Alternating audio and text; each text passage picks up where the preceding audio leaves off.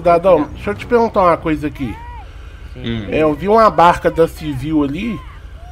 Como que uma barca da civil tá sozinha na rua com um civil só, mano? Pode? Isso? Não, poder não pode não. Pois é, Mas aí a, civil, a polícia civil não é nenhuma responsabilidade nossa. É. Não, não, entendo, tá ligado? É porque assim, só tô perguntando, porque eu, eu, pelo que eu sei, também não pode. Eles acabaram de entrar aí no cassino, tá ligado? A barca da civil. Eu nós sei se que um polícia só não pode sair de PTR.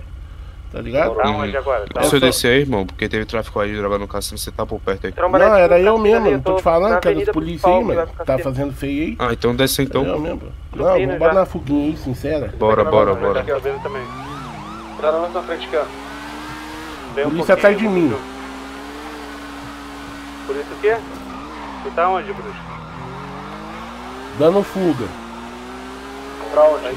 A gente, vai parar em algum lugar aqui. Pra, a gente, tu para e senta dentro dos polícia. Tá todo mundo armado aqui. Cadê? Já vão perder já. Não, mas o ideal seria matar eles, cara. Não perde de vista não, Bruno.